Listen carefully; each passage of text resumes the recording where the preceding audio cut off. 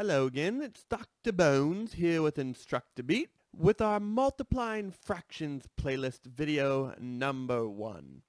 As always, we thank you for watching Instructabeats and hope you will find this lesson educational. So our objective today, today I will multiply a whole number by a fraction using visual models. Even though we are discussing multiplying fractions, we must first go back to the basic understanding that repeated addition is in fact multiplication. So when you are repeatedly adding things, the shortcut for you to use is multiplication. So instead of doing 4 plus 4 plus 4, which, yes, I know is very easy, but instead of doing it with addition, we could rewrite this problem as 3 groups of 4, which would equal 12. And so in this case, when multiplication is repeated addition, this time sign is going to say the words groups of. Now there are different types of multiplication which we'll be getting into, but today we are going to focus on multiplication being repeated addition. So in fifth grade, we multiply fractions for three different reasons. The first one is the focus of our video today, and that is repeated addition. And just like we talked about in the last uh, slide, when you are saying 3 times 4, really this time sign is saying groups of. You don't need to write this down, but it's just important for background knowledge if you want to be a fraction fractionologist such as myself. And so we're going to focus on it being repeated addition, which again, the time sign is going to say the words groups of. So instead of reading it as 3 times 4, you would read it as 3 groups of four. Very, very important distinction to carry with us as we dive into the world of multiplying fractions. So our smart dinosaur thought for today is... Loosely translated, that means you can solve repeated addition fraction problems using visual models. So Dr. Bones is going to dive into and I like to say the word dive a lot for some reason, but we're going to get into solving fraction multiplication problems using visual models today. Thank you, smart dinosaur, for that thought. Here we have the I do problem, and our equation is 2 times 2, 6 equals our variable. So in this instant, because I am a paleontologist as well, we are going to use a dinosaur egg instead of a letter for our variable. So we want to know what number is inside that dinosaur egg just wanting to get out. So like we said, we're going to view multiplication today as repeated addition. So really what this say is saying is, is two groups of 2, 6, right? And so when it's repeated addition, we use the words groups of as we read that times table. So let's do a little bit of paleontologist magic and dig up some visual models. Ah, there we go. Good bones of a number line in our fraction model. Two visual models we're going to be using is our fraction tape diagram or area model and also our number line. Now, I put them on top of each other so that you could see that our area model is really one whole, just like our uh, number line is. And I know that my denominator is 6, so I have split my number line into 6 equal pieces, which means I'm also going to split my area model into six equal pieces. Now, normally you would not have to draw both of these, but these are the two different tape, uh, these are the two different visual models that Dr. Bones will be using today that you will also be practicing with. As we read before, we want two groups of 2, 6. And so if I were doing this with my tape diagram, I would shade in my one group of 2, 6 here. And then I needed another group of 2, 6 here.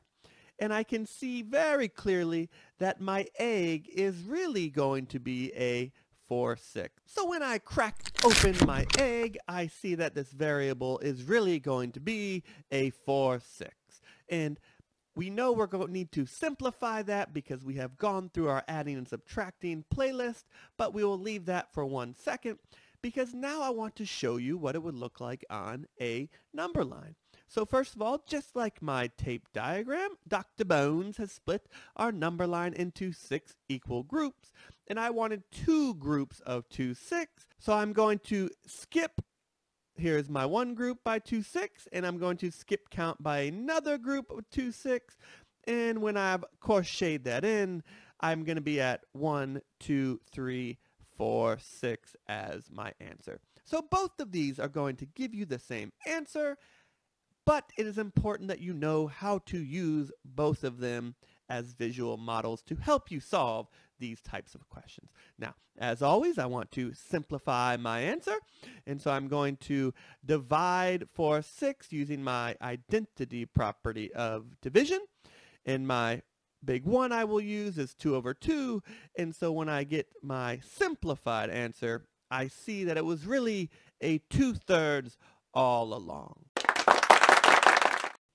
If you need help with the simplifying part, please feel free to go back and review our Simplifying Fractions lesson as seen on our fantastic YouTube page, Instructabeats Official. Please subscribe.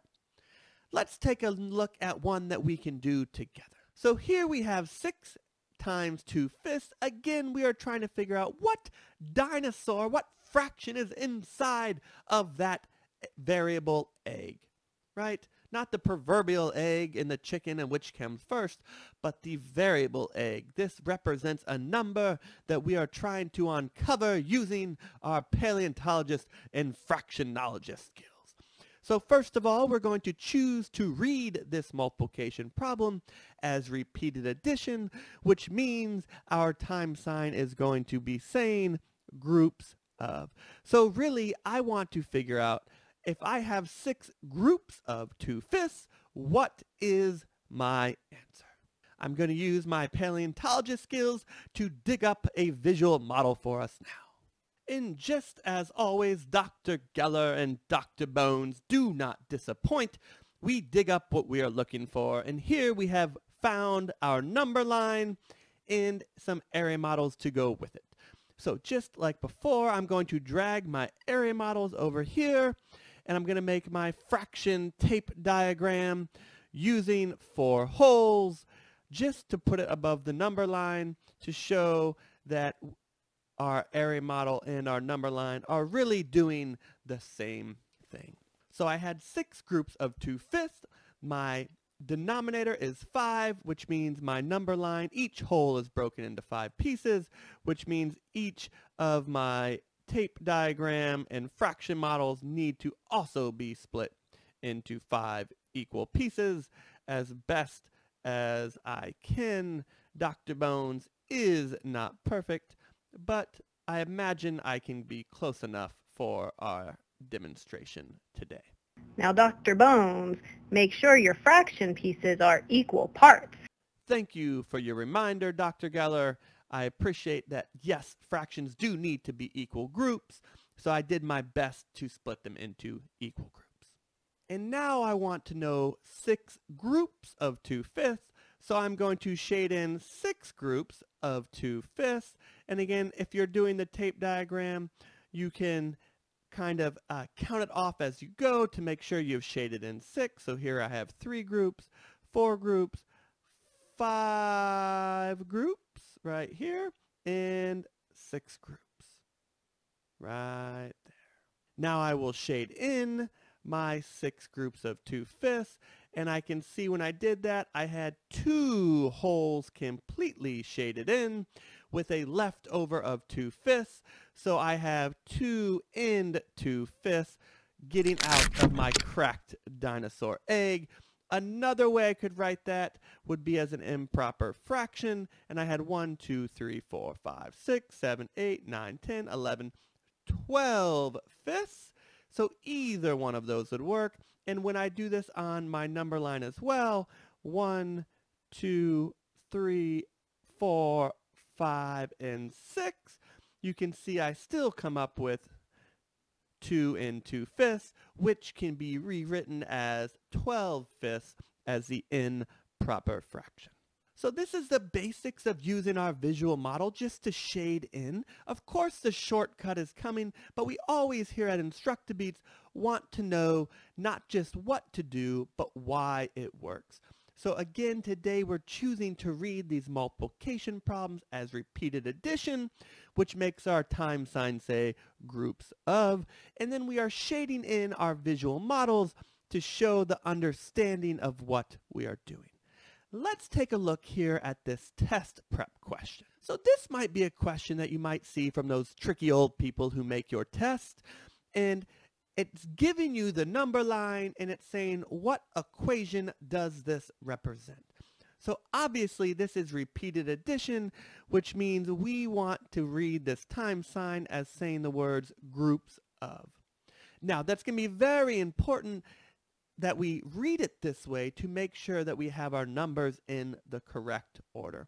So I can see that each group is made up of two pieces and that my denominator is one, two, three. Three, make, three pieces make up each whole. So I'm finding groups of two-thirds. And how many groups do I have? One, two, three, four, five, and so here I had six groups of two-thirds, which when I counted that gave me an exact answer of four. Or you could write this, my denominator was three, as three, six, nine, 12 thirds.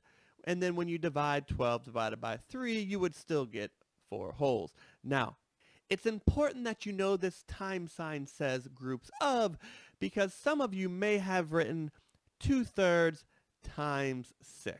Now, commutative property of multiplication tells me that I will still get my answer as 4, and I, Dr. Bones, do not disagree with you there. However, the correct equation was 6 groups of two-thirds, not two-thirds groups of 6. You would read that multiplication problem a different way, which you should tune in to our next lesson to help you understand that. But it is important that you know how to write the equation correctly and read it correctly. So even though 2 thirds times 6 will still give you the same answer, that is not the correct equation shown by our visual model and our number line. So some of you are asking a very important question right now. Dr. Bones, what if it's a word problem, Dr. Bones? And that is a great question. So let's take a look at one word problem together before we are done with our lesson. Our word problem says there are six players on a basketball team. That's a small basketball team. They each ate two-sixths of a Subway sandwich. What is the total amount of sandwich that they ate? We are going to continue to use our sides check word problem strategy. If you don't know it, please check out our Instructabeats song on our word problem strategy. It is a fantastic song, if Dr. Bones does not say. So my statement is going to say the total, so my statement is going to say the total amount of sandwich they ate is blank. When I go back into my word problems, I'm looking for anything about who the they are and anything obviously that they ate. So it says there are six players on a basketball team. They each, which I need to circle a thousand times, so each one of them ate two six of, we always underline the word of after a fraction, a Subway sandwich. What is the total amount of sandwich they ate. So I'm going to annotate that with an addition sign because I know that I'm bringing things together and Dr. Bones is trying to dig up the total amount. So I'm going to be drawing my tape diagram here. And I know, woo, there we go, that they're going to each eat two six. So I'm going to split this into force here, and I'm going to label this as 1, 0, 1, 2, 3, and 4. So this is four wholes put together. I see my denominator is 6, which means each of these is going to be split up into 6 pieces. So each of my wholes will be 6 because that was my denominator. So I split it into thirds and then in each third into half, which gives me 6 total pieces for each. Now luckily there'll be a shortcut coming so you don't have to do this for very long. But again, here at Instructabeats, we want you to visualize not just what you're doing, but why you are doing it. And I know that there were six players and each of them ate two six. So here would be player one, here is player two, here is player three, here is player four, here is player five, and here is player six. And when I go back and shade in all of those, I see that it has brought me to exactly two wholes. So I can say that if each of them ate two six of a Subway sandwich, they ate two sandwiches. And that is the answer to my question.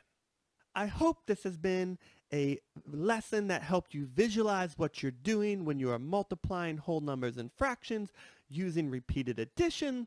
Please stay tuned for our next few videos in our playlist that will explore the other reasons that we multiply. As you saw in your notes, there were three different reasons. Today we covered the first one. Our next two videos will cover number two and three and you will learn the shortcut for how to multiply whole numbers times fractions so you don't have to draw out these pesky tape diagrams for very much longer. As always, thank you so much for tuning in to Instructabeats. We invite you to check us out on Instagram at, at Instructabeats. Check out our webpage at instructabeats.com. And as always, please check out our YouTube channel, Instructabeats Official, and subscribe. Dr. Bones and Instructabeats